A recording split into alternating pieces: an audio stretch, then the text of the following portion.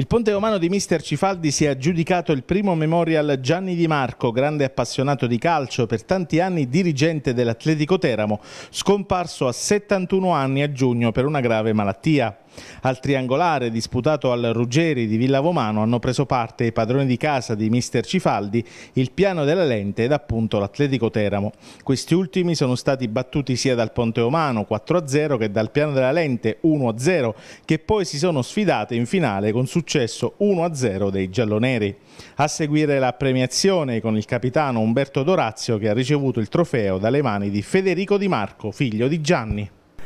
Federico, è stato celebrato questo primo memorial dedicato a papà Gianni che la sua grande passione era il calcio, si sono riunite Ponte Romano, Pianalente e soprattutto l'Atletico Terno, per tanti anni è stato dirigente dell'Atletico Terno. Sì, lui diciamo, viveva oltre per il lavoro e per la famiglia, il calcio è la sua passione più grande.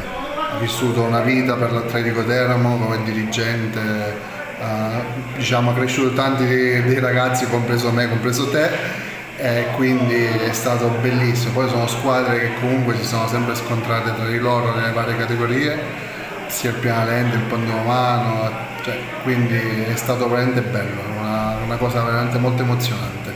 Devo dire che lo tenevamo qui con noi, da, da lassù vedeva, ci vedeva e penso che era molto contento di questa cosa, sono stato molto molto contento.